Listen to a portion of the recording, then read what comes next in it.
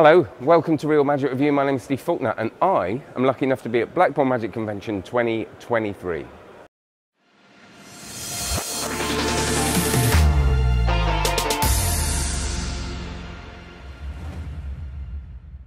Before we do this, please like, subscribe, and of course, share it if you want. Tell people about it. But check out onlinemagic.co. Thanks, Gaz and Steph, for the t shirt. I'll have some links at some point for those. Uh, but onlinemagic.co is my membership site. It's been going for 10 years this year, uh, which is nuts. Uh, I was one of the early, the early adopters of the membership thing, and, uh, and it's still going. 800 videos plus, I think probably more like 900 now, and live sessions every week, and special guests most months. We had two special guests this month, and uh, people like David Williamson have been on there, Andy Gladwin uh, thing like Vanishing Inc, which is you might be able to see behind me there. And uh, anyway, I'll stop waffling about that, but have a look at onlinemagic.co. Now, yesterday was the first day of the convention. I'm doing one of these every day. Um, I didn't hammer it yesterday. What I usually do is watch everything. I just wanted to walk around and get a feel for things yesterday. And the thing about Blackpool is, you know, one of the things I love about it and one of the things that frustrates me about it is that there is so much on. So there are crossovers. You, so you have to make choices of what you see. And a big choice I have to make is do I miss things completely? Because I want to kind of walk around the area, I want to walk around the dealers, talk to people, and catch up with people who I haven't seen for a long time. And this year I've decided to do a lot of that, which is the joy of these conventions. You know, when you're when you're of a certain age, you've seen a lot of magic, a lot of lectures, and it's just nice to kind of see those people that you haven't seen for so long. And the vibe here is lovely. You know, I back in the day when I used to come to Blackpool, I think it was one of the Blackpool conventions that I just went, you know, I'm done, I've had enough, and I kind of went into what I call my wilderness years of kind of, you know, thinking the magic community was terrible and being terribly, terribly wrong. Uh, it was more about me than them. And then coming back to it years later and just, it's, it's got the things I loved about Blackpool, plus it's changed for me in, in the atmosphere. Not that it was a bad atmosphere, but there was a lot of stuff going on behind the scenes. And this, it just seems to be more tightly put together now, a little bit more thought gone into the organisation of it, and everything is just like Blackpool 2.0 now.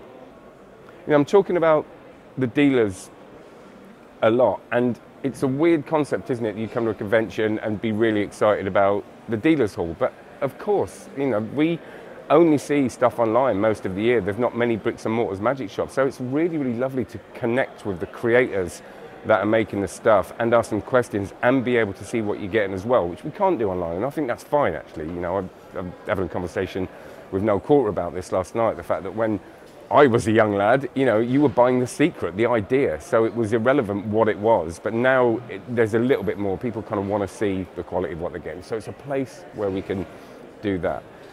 Saying that, you know, and I will be walking around getting footage of some of the dealer stuff because there's some really exciting stuff that I've seen. Lecture-wise, I saw John Allen yesterday. I wanted to see all of John's lecture, and actually, me and my partner Helen helped him out at the end, just uh, being volunteers for his latest trick. But that was it. it was, I haven't seen John lecture. You know, I've long, known John for a long time, and I've always talked about his products. I like his products. They're all workable. He's a worker. He knows his stuff. And you know, way back in the day with the bookie release of Vanishing Inc, I really loved. And even before that, Spectators Don't Exist. I think that's what it's called, the DVD.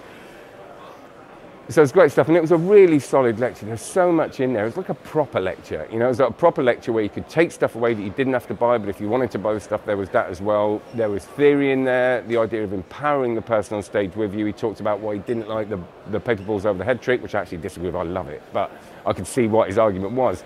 And he's got a beautiful version of a torn and restored napkin, which uses the same idea but empowers the child that you are, or the person that you're doing the trick to. And as soon as I saw that, and he talked about it before, but I hadn't seen it, I just thought it's such a lovely thing. And you could, I think you could also sort of add to that as well.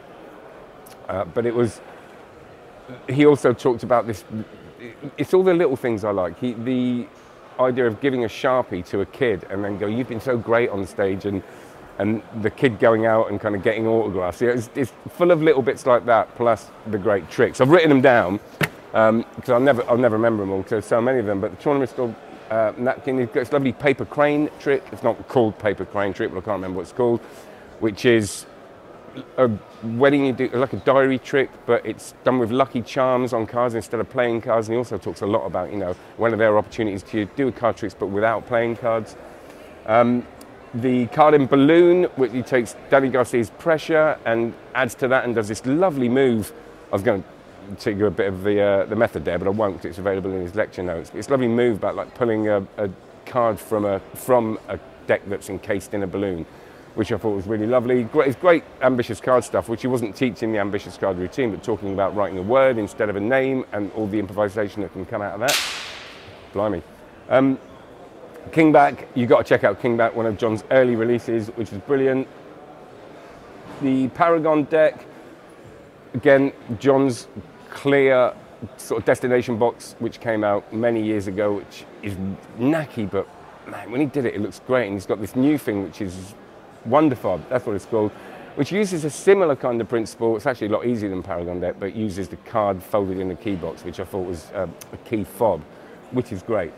Uh, and the, the heart trick, anniversary heart. So if you think of anniversary waltz, but without cards, but with, with these plastic hearts with the spectators' names on, and that's where me and Helen went up and helped him out with that, which is again a lovely trick. And he's got his um, system, this, this system, oh, what's it called? Can't remember, sorry John, but I'm going to do a whole review on it as well. But actually, the display system he's got which displays Rubik's Cubes, cards, all these things. It was quite funny because every time he put something on it, he went, oh, that's, looks nice, or what a great idea. And, you know, you knew it was coming up to a, coming up to a very lovely and a very subtle pitch at the end. And actually, it was lovely to see John at the end talk about what it means to him to lecture there. It's been 20 odd years since he's lectured. Or, or maybe he's never, anyway, long, long, long time since he's lectured, if ever in Blackpool. Um, but it was great to see. So the evening shows the, what happens in Blackpool is that you get your ticket to the gala, which is on your lanyard. lanyard. You get the same seat every evening. So that's what's good to get in early with your early bird tickets and stuff, because then you'll get a, a, decent seat allocated. There's no really bad seats, but when you're up in the gods, it can be problematic, and I'll talk about that in a minute.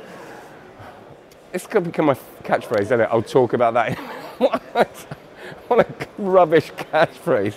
It's because I always say it, if you haven't watched many of these, and never usually talk about it in a minute. But anyway, uh, Mike Caveney and friends. I'm looking at notes here because uh, I, you know it's it's early and um, and there's a lot to say. The way it works, as I was going to say, is that you get your Gala show ticket and then there are satellite shows. So before and after the Gala show, there are different shows and you get a separate ticket for that and you have to choose what one you go to. So Mike Caveney's show was him, Tina Lenert, Artem, who won Manipulation FISM, and Christopher Hart. And Guy Hollingworth, how can I forget that? I've never seen Guy on stage, oddly enough. I've seen him do close up. It was a lovely show that for me, the room was problematic. And I don't really know why. First of all, I kind of sat down and it was, uh, yeah, very race stage, all that. I was quite near the back, but I always choose to do that. And I thought I'd be okay.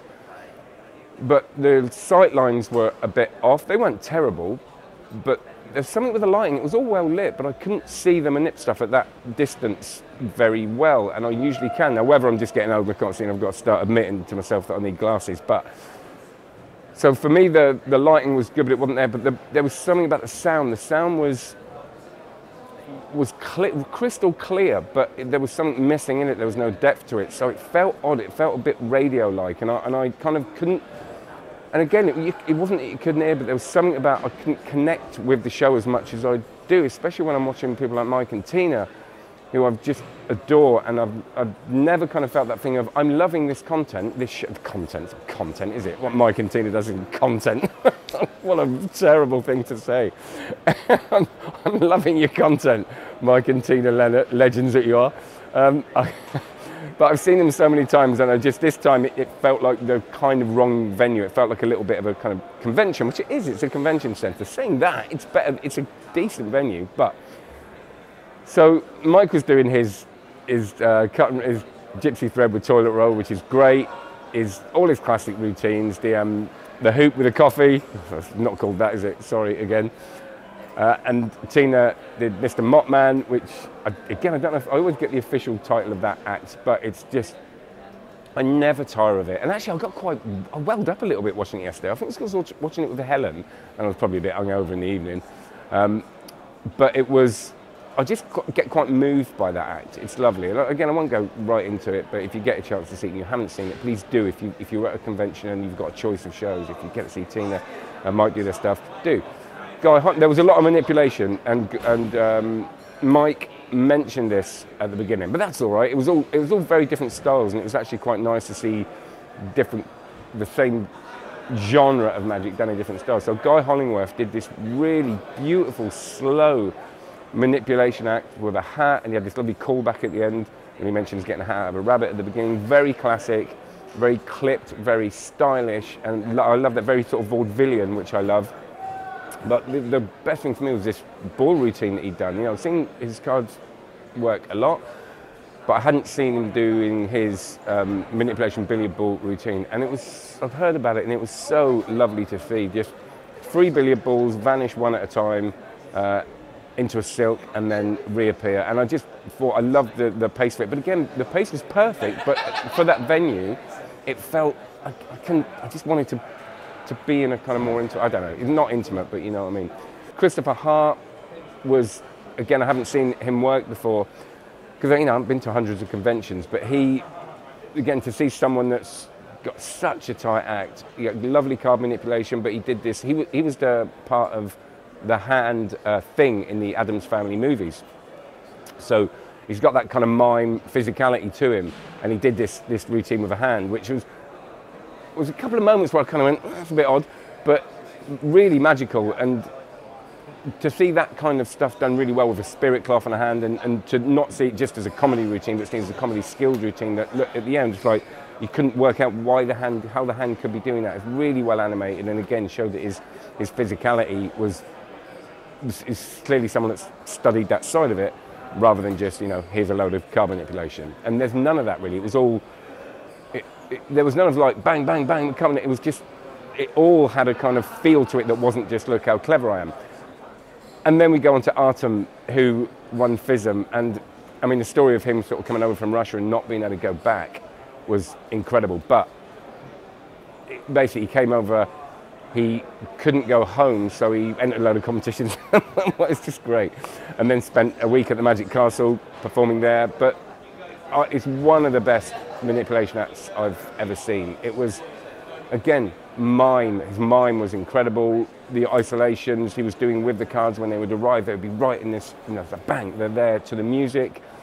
And then I'm not going to go into the act because I don't want to ruin it, but it was just surprise after surprise. This thing with the ball and the hat, again, this slowness of the ball moving around the hat and vanishing. It was nothing rushed. And then by the end, everybody was just on their feet. It was absolutely incredible.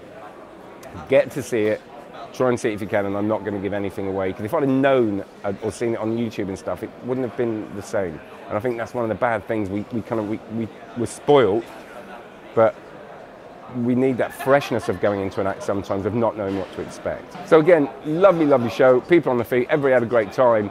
But for me, the atmosphere wasn't there. And I think the audience have got something to do with that as well. I mean, I did notice around me that people weren't engaging from the start. And that wasn't because of the sound and the audio of any of that stuff. It was because they were just a bit tired, and nobody was. I was thinking, come on, you know, they, they were, it was a kind of muted audience as well. And I think as, as, magicians, sometimes we can be if we're not careful, and I think we have to really, you know, try and watch it as, as a layperson and give the feedback to the performers that they would get from a non-magician's audience. So it's starting to get busy now. People are starting to come in. So I'm going to bang through the gala show, which was, um, well, I suppose it was the second gala show. Kevin James and friends. If you don't know Kevin James' stuff and you're new to magic, do check out what he does. I saw him with the Illusionists show actually in Sheffield, which was lovely to see uh, in my hometown. But I've, I've loved everything he's put out into the magic community, from the snowstorm to the bowling ball. That was his, wasn't it? Oh, yes, it was. And, uh, and the floating rose, which he performed last night, which was so magical. And again, I got a little bit emotional. It was lovely. He's got such a, he's got that really nice way about him, Kevin James, which has got no creepiness to it at all. I don't think it's just a really nice, warm. You feel comfortable in his company as a host.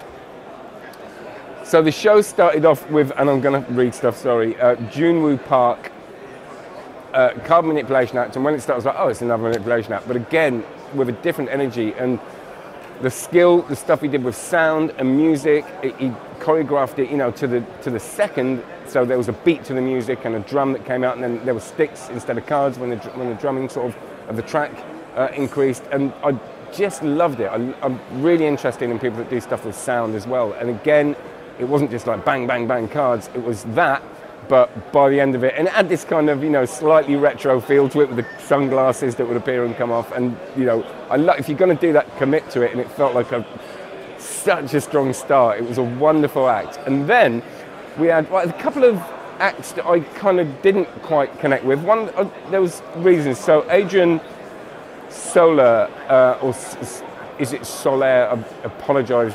I haven't looked at the pronunciations. I usually get quite geeky about, pronunciations. Um, he had a few technical problems at the beginning, but it was a weird thing. Like when he came on, I thought it was really funny, really strong, and then it, it kind of the, he did a thing with a song, which again I think there was some technical issues and problems that derailed that a little bit. But I was watching from the, the circle, so I wasn't right up at the balcony, but my angles were a little bit off for the illusion that he was doing. So again, that kind of made me, oh, it's such a shame because I wanted to, it was a lovely illusion he did. So for me, that part of it didn't really pick up for me, and I was like, I, I kind of felt like that felt like it was working towards something. But I've just thought, Mike, um, Mike, Kevin did say he broke his hand like a week ago, and he's performing with a broken hand, so that might have been something to do with it. But it just started, and I was like, this is going to be great, and then it, it, it didn't really pick up for me, like I said. Anka and Luca, uh, FISM winners for Mentalism, don't, I think. Again, I hadn't seen them before, I hadn't heard of what they did. They had some really, like when they started, I couldn't work out, there were some really funny jokes that were kind of ironic jokes in there, so I couldn't work out whether they were really committing to the whole thing being ironic. It wasn't. I mean, the mentalism was stunning, it was incredible. But it felt like it could have committed more to that. They, are such a professional and well put together act, and I can see totally why they won. And just, you know, great characters, the whole thing's brilliant. But I felt that sometimes it was going towards that kind of ironic jokes bit, but then it would come back and become a bit more serious. And it's like I wanted, I kind of wanted it to do one or the other. But again, a phenomenal act, and everybody loved it. Rafu, which which I thought looked like a kind of long, young version of Bill Malone, which once I got that in my head, I couldn't get out of uh, out of it. But again, lovely clowning, lovely physicality, some brilliant, brilliant stuff with linking rings. He did this linking ring routine. Such a great gag. I'm not going to ruin it, but he, did, he does a crash link gag which I just thought was hilarious. Then he's got this brilliant when he's, he's, trying to link and unlink the rings, but they're actually happening with the rings that is still on the stand. That was great. Again, for, for an act, it's, it didn't really. I, I love bits of it, and bits of it didn't play quite so strongly for me. But the character, and I love good quality clowning, and it was that. You know, great. Someone that's clearly again studied the art and knows what he's doing. But for me, it wasn't the strongest of the evening. Ramo and Allegra started off illusion act, and I had to nip out to the loo because I'd, had a I'd had a glass of wine, and I came back and I missed the beginning of it, and I went, oh, it's you know it's classic illusion stuff, and then I realised it wasn't, and it twisted the whole thing around. I love, you know, I think some of the classic illusion acts are problematic. They're slightly misogynist, like the whole thing of getting, you know, the, the, the assistant. Again, you know, I love it, but sometimes it can be done in problematic ways and quite dated ways. And this really did something to address that. I thought it was really clever, really skilled, very funny, and what an ending. I mean, I was just saying, it's got its gag with a sub trunk. And you do it, and I was thinking, oh, great, they're going to do the sub trunk. And then this thing happens, and it's really funny. You go, oh, they can't do the sub trunk now. And then they kind of and it was just mind blowing. It's one of the best illusion acts I've seen in a long time. I'm not an illusion person. I don't really engage with it very easily. I kind of once someone gets in a box, I kind of know what's going to happen. I'm not putting it down at all. I know this is very, very important to some people, and you know there's some great stuff here in this room with illusions. But for me to be that entertained by an illusion act was was a real joy. And Gaëtan Bloom, I haven't seen Gaëtan Bloom on stage for a long time, and I'm a big, big fan. And he was just so funny. I'd forgotten a lot of the act. it really tickled me. He does this thing. He just says to someone, "Right, you need something to do. This is a French invention. It does nothing." And it's just this bit of wood that goes like that, and he's winding it up, and the guy has to stand there for ages doing this while, while the woman's doing the uh, the card stuff with Gaëtan, and it's just so funny the way he, keeps looking around and going, "You keep working, keep working at that." Uh, and I, from beginning to end, the, the, stuff with the boxing gloves. I know a lot of people, a couple of people said to me, "No, it should have finished there." The boxing glove bit at the end didn't, but I, I really like it. I just, like, Gaëtan's one of those people I could just watch reading the telephone book. You know what I mean? He's just so funny. He's kind of the way he kind of walks around the stage and he's got that kind of informality to him. But you know, he's a wonderful clown, Gaëtan Bloom, and just very, very funny, and a, you know, an incredibly skilled magician, and a masterclass in taking, you know, a card trick that is a simple, really torn corner card trick, and creating this amazingly funny routine out of it. That you know, again, it's one card trick, but I just I just adored it, and I, I could have just sat and watched it for another hour. And then Kevin James did that routine, his, you know, the, the routine he's famous for when they cut a person in half and then it just, it, talking about illusions, that's the other one that I just love. It's a masterclass not only in, in that kind of illusion, but in timing and quiet and waiting and patience. There's a moment in it when there's the person's on stage, half of the person's on stage, and there's just this kind of, you're just waiting and waiting and waiting and waiting. And, I, and you're watching nothing happen. There's just got a heartbeat and the music, but you're just transfixed by it. And, and I could have sat and waited for another 10 minutes with nothing happening. And it just shows if you just relax and give people time to process what's going on, then when the thing happens that happens, it's so much more impactful. And I just, I love that. I, I, to to sit there and watch that again after all these years was was a real joy, as was the whole day. So, you know, that's a very long, rambly um, review-ish, and you know, I'm sorry I can't go into detail like I usually would, and sorry if I got any of the pronunciations of the names wrong, but it, it literally is, you know, go to the Ruskin, have a very late night, get up super early, do this as quickly as possible before the first lecture starts at 9.30 in the morning, which is, you know, 15 minutes, and it's starting to pick up here now. So Thanks loads. Any questions you've got, do uh, put them in the comments below and I will answer them tomorrow. I'm doing another one tomorrow morning, so do comment if you're not here because there's so much more to talk about. I was going to go into the, the uh, dealer stuff that I've seen, but this is long enough anyway, so I'll do that on tomorrow. So if you've got any questions about any of the stuff here, I will be talking about it and I will be getting some footage today.